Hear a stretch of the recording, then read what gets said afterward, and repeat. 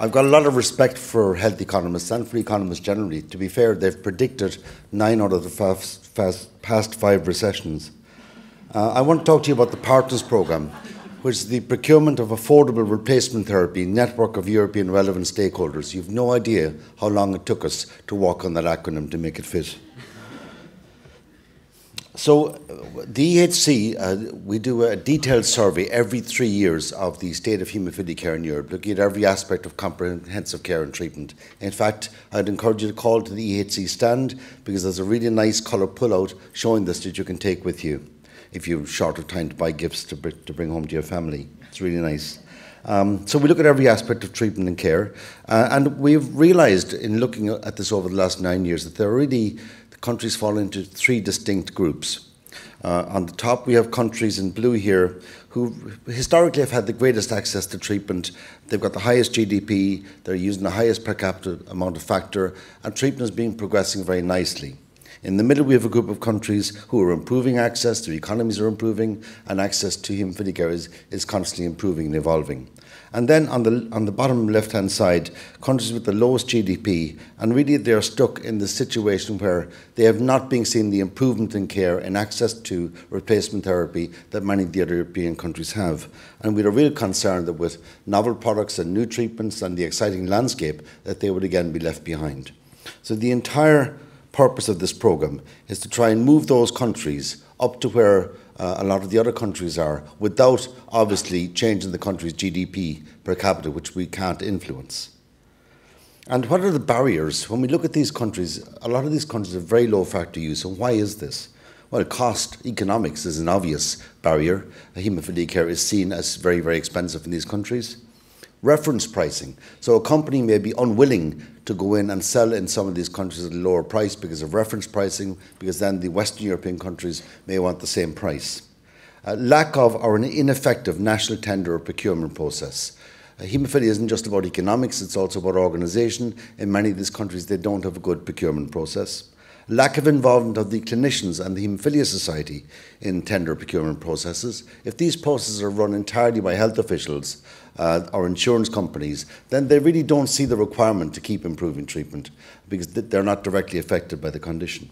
And one year budget cycles and tenders. And in a lot of these countries, the governments think in one year terms, there's no long term planning, so there's no sustainable improvement. And our proposed solution was really these countries need a real and sustainable increase in the amount of replacement therapy they have available at an affordable cost. So we decided to look at criteria and to get around the whole concern about reference pricing to, to include countries in a program if they met these defined criteria. And then for these countries, uh, pharmaceutical companies would agree to provide factor 8 and factor 9 below a ceiling price, which we set at a very, very significantly lower than the median European price. Procurement would not be for a one year term, would be for three years. And the countries would have to purchase more than the current amount.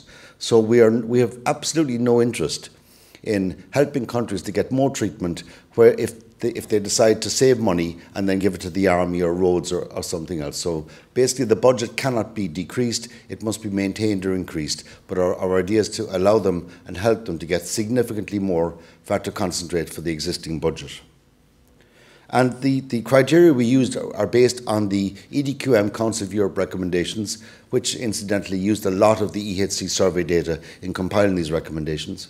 And the four recommendations we used were that the minimum consumption of factor VIII concentrate in any country should be 4 IU per capita, 0.5 IU per capita for factor 9, and that national or regional tenders for factor concentrates are encouraged and should always include both haemophilic clinicians and the patient organisation. And prophylaxis for children with haemophilia is already recognised as the optimum therapy. So when we looked at countries who were lower than 4 IU per capita for factor 8, less than 0.5 for factor 9, where not all the children are on prophylaxis and where they don't have, where they have a national tender procurement process, uh, uh, but, but the patients and doctors are not included. Countries which fit all or, or some of those, uh, we, we identified 14 countries initially who were eligible for, for inclusion in this programme. And so progress to date, we've had visits or detailed discussions with 12 of the countries to meet with the Health Ministry, the clinicians and the Haemophilia Society. Um, we have a project consultant, Declan Noone, who's really doing a detailed scoping exercise on the current tender and procurement system in each of the countries and identifying their individual barriers and opportunities. Um, we've established an advisory board with participation from the pharmaceutical companies who have signed up for partners, Kedrion, Sobi and probably Pfizer. Um, we've made major progress in several countries. Uh, we have the first countries of agreed participation Albania and the Kyrgyzstan Republic. We are very, very close to signing an MOU with the ministry in Macedonia, and there's been significant progress in other countries such as Ukraine. I'd say also that we've had very good discussions with other companies this week, and we are hopeful that in the coming months we may well be able to announce additional companies who are signing up for this. The momentum generated by partners has also led to changes in some of these countries. So we're already seeing that the fact that this program is happening, the fact that this should lead to a larger supply at a lower cost for these countries is impacting those countries and other countries around them so that already companies are feeling that they must offer more value uh, in terms of haemophilia products to these countries. So we're seeing lower prices in several countries already. Serbia are now moving to a two-year procurement initially. They've, they've strengthened their tender board to include the haemophilia side and clinicians. Um, they're close to 4 IU per capita for factor 8. Progress is being made in Latvia and Turkey. In Ukraine, um, the health ministry uh, brought in the UNDP, the United Nations Development Programme, to run their tenders, and the UNDP have signed an MOU with the EHC to help them with those tenders. And there's now a new inclusive procurement process under development there.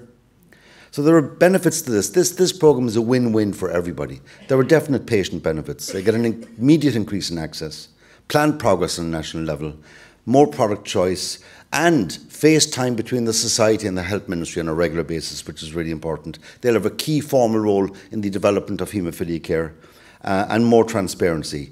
And, and the fact is that it's really getting the clinicians and the patient organisations involved in tender board, which will drive sustainable improvement in care in these countries in the coming years.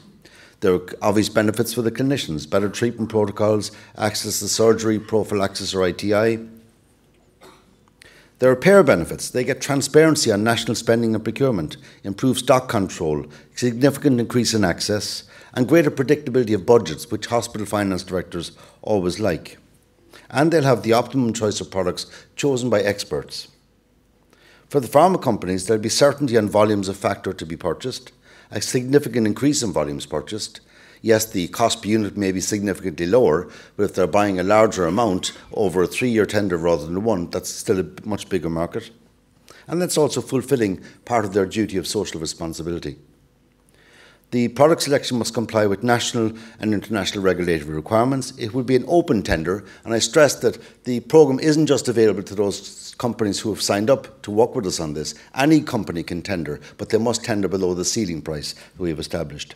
Uh, and then in terms of, uh, there are issues we're dealing with, parallel importing issues. We really don't want to see a situation where one of these emerging countries uh, buys factor concentrate and the distributor there then resells it to Germany at a profit.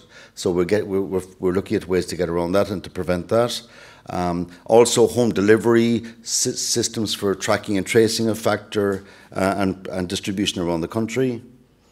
Uh, we have, we're having a lot of operational discussions. This concept is simple, but the implementation is very complex because there are, there are difficulties and issues in each country that we're working through in terms of the length of contracts, product registration issues, which centre will be responsible for home treatment, volume increases and guidelines, and, for example, under which auspices does the tender board actually operate. Uh, so this is an example of it's not, it's not just about money. Romania has a decent budget now for haemophilia care, but they have 38 separate tenders for factor 8. Now, that's not efficient.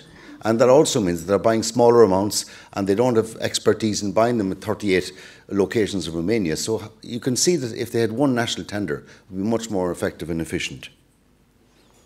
An example of partners in Albania, in 2016 they used 2.5 IU per capita. Year one of the partners program, that will increase to 4 million units at no additional cost. And years two and three, a three-year contract for 16.5 million units uh, with a very small increase in the budget.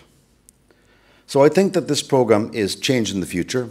I think the market is changing with more standard half-life products, extended half-life products on the market, novel products coming on the market, more and more competition. I think we're, we're, naturally going to see more competition and lower prices for the products which have been around for quite a long time. I think this programme helps to drive that change and make it available to those countries.